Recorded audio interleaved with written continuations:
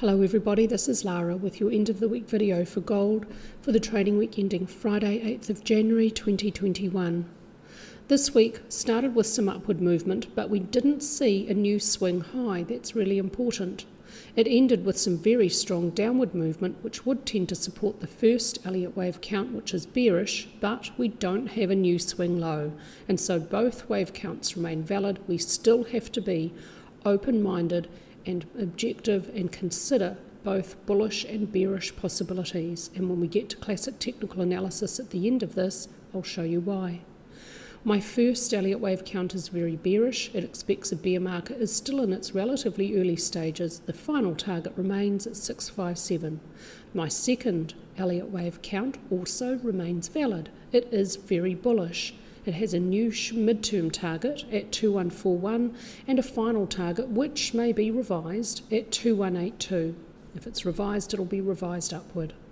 First Elliott wave count, bearish. This wave count considers an expanded flat correction on a monthly chart. They're actually pretty common structures. They have B waves which move beyond the start of the A wave, convincing us that there has been a trend change and price should continue in that direction right before a C wave continues to make new price extremes beyond the end of the A wave. In classic technical terms, they are huge sideways, well, this one is huge, a huge sideways consolidation in an ever expanding range with A, B moving beyond the start of A, and C moving beyond the end of A.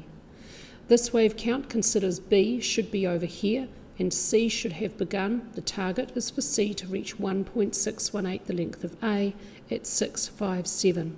C should subdivide as a five wave structure. This wave count sees supercycle B subdividing as a double zigzag W, X, Y. Within X, the important difference between the two wave counts is in here. This wave count sees a triangle in this position. This has a perfect fit at all time frames. Let's take a look at the daily chart where this high here for supercycle B is this point back here. While price remains below this invalidation point, this wave count will remain valid. And now, while price remains below this short-term invalidation point, for the short term, this wave count will remain valid and entirely possible. We have to be open-minded and consider both bullish and bearish possibilities at this time. If there's been a huge trend change at supercycle degree, then supercycle C should begin with cycle wave 1 unfolding lower. It looks like it should be unfolding as an impulse. Within it, primary 1 would most likely unfold as an impulse and may have begun with a series of 1, 2, 3, 4 overlapping first and second waves.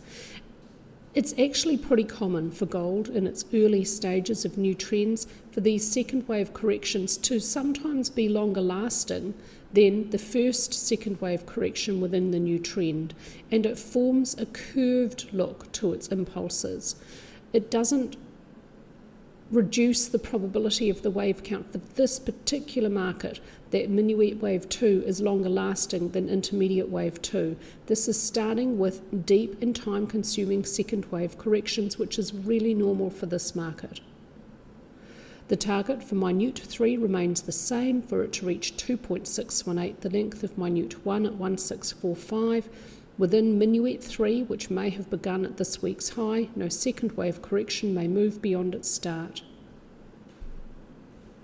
At the hourly chart level, here's minuette wave 2, and minuette wave 3 may have begun here with a strong downward movement for subminuette 1, which has a pretty typical curved look to it. A strong start, and then this curved movement here. That's a fairly normal look for gold's impulses we may see a relatively brief shallow correction for subminuette wave 2, the downward pull of a wave at of a third wave at multiple degrees may force the second wave now to be more shallow than it may otherwise be, and so the 0.382 Fibonacci ratio is a preferred target for it.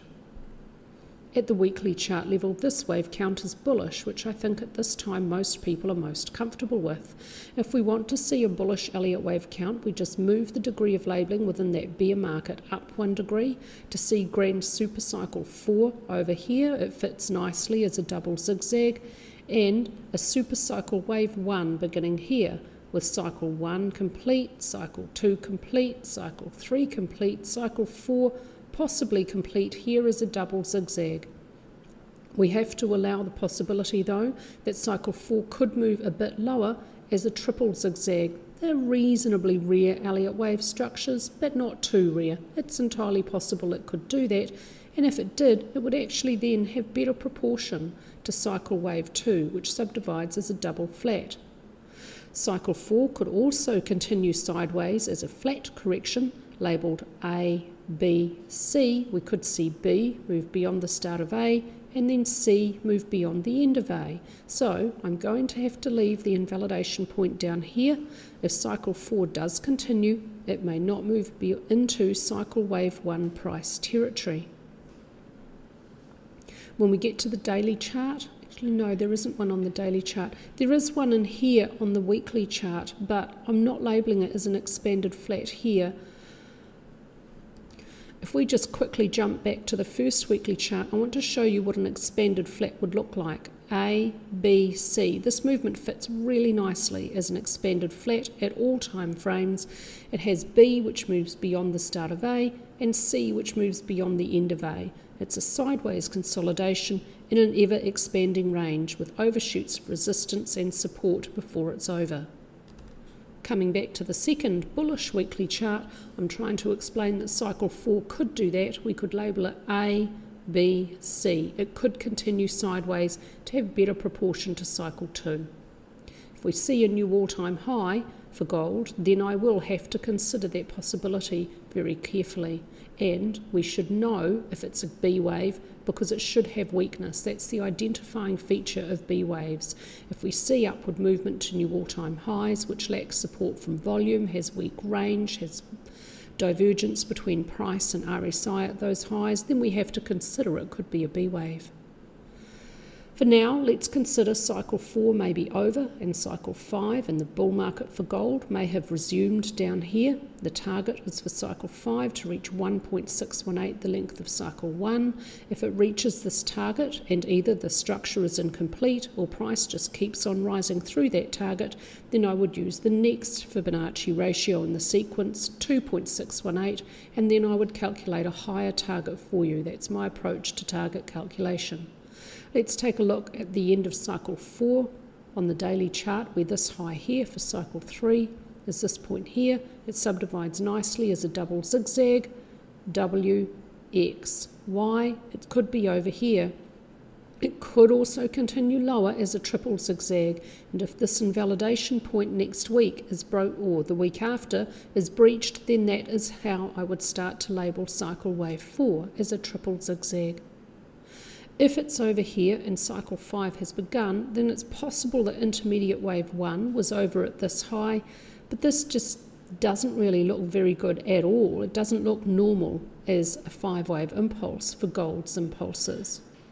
It will subdivide at lower time frames as a five wave impulse, but when we get to the daily chart level, it just doesn't have a normal look. And so that reduces the probability of this wave count do consider it's possible cycle 4 could continue lower.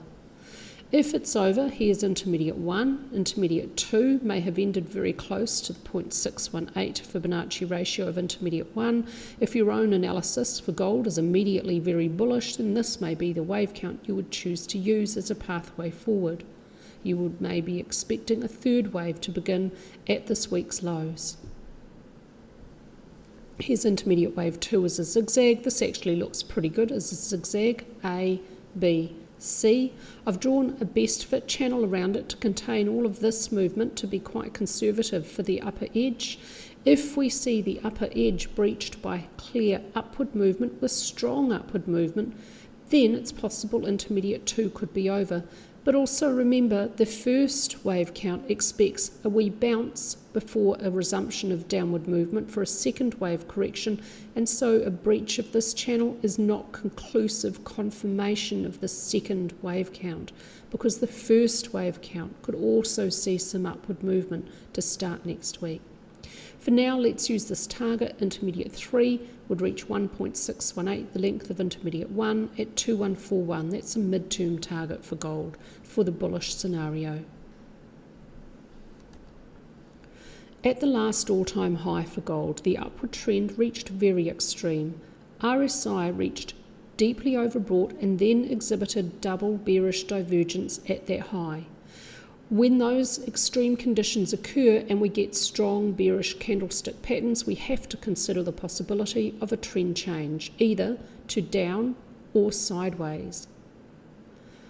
This downward movement has now been enough to pull ADX down from very extreme and pull RSI right back into neutral territory. There is again room for an upward trend to develop.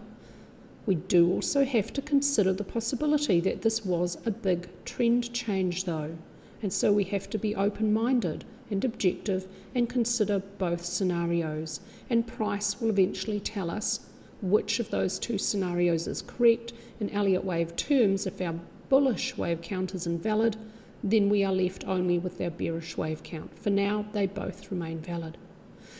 This week, more bearishness again from gold. We've got some strong downward days and weeks in this downward movement and some relatively weaker upward movement. This week, we have a strong bearish candlestick pattern with a long upper wick which is bearish. It has a strong push from volume pushing price lower. On balance volume this week doesn't give us a signal. ADX is still declining, the DX lines are still whipsawing, the ADX line is still not below both DX lines, so if an upward trend does again develop, it would still be extreme. It hasn't been brought right down below those DX lines yet for a new upward trend to develop, which is more sustainable. We've been over RSI. ATR is overall flat as prices moving lower. That's okay. Sometimes that happens, or actually often that happens in the early stages of a new trend for gold. It will also happen in a counter trend movement. So it's not going to tell us which of those two scenarios is most likely. This particular indicator won't. Uh, stochastics is neutral, MACD fully bearish at the daily chart level, there's a couple of really strong downward days this week, and they have really good strong push from volume. It happened back here, strong downward movement. Here's the all-time high for gold, and this one of the keys to identifying is this a counter trend movement or is it a start of a new trend is to look at the beginning of that. Beginning new trends often start with a lot of strength, and then you see some hesitancy as we see those counter trend movements. And this downward day here, particularly early on in this first little fall in price, or rather large fall in price actually, has really strong push from volume and huge range on this candlestick. We're not seeing a similar volume and range in upward movement, and now again we've got strong downward movement. I said last week, and I think the week before as well, that this swing high was really important because from this all time high for gold, we have a series of lower lows and lower highs. The basic definition of a downward trend.